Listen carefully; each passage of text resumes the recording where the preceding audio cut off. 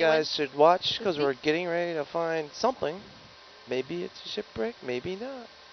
Come exciting. on. Come Come on, on. sonar now it's a pile approaching at 10 meters. It is a shipwreck. It is a shipwreck. It is a wreck. What do you know?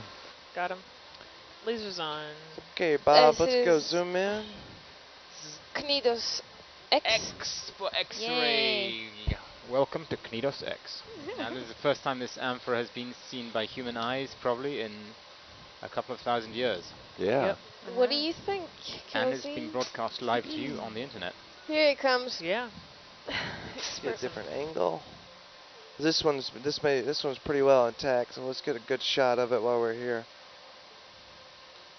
You want lasers on or off? Just leave 'em on. Uh, Yeah, these are interesting ones where the handles kind of come up and then yeah, back come, down it like is, uh, yeah, in uh, 11 and uh, between 11 and the 13th century, uh, this is the general Okay, design time off. period, handles up. But okay. there's also one Lasers off. type is the Roman off. period. Um, of course, this is not very common. Right.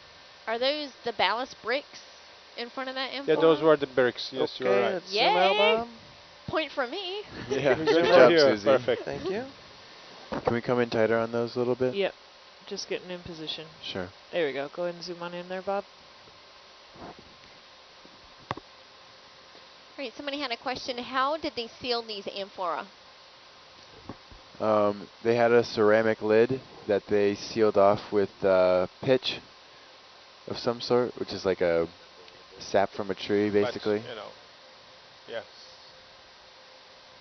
It's a good shot. late fifth. Uh, Ah.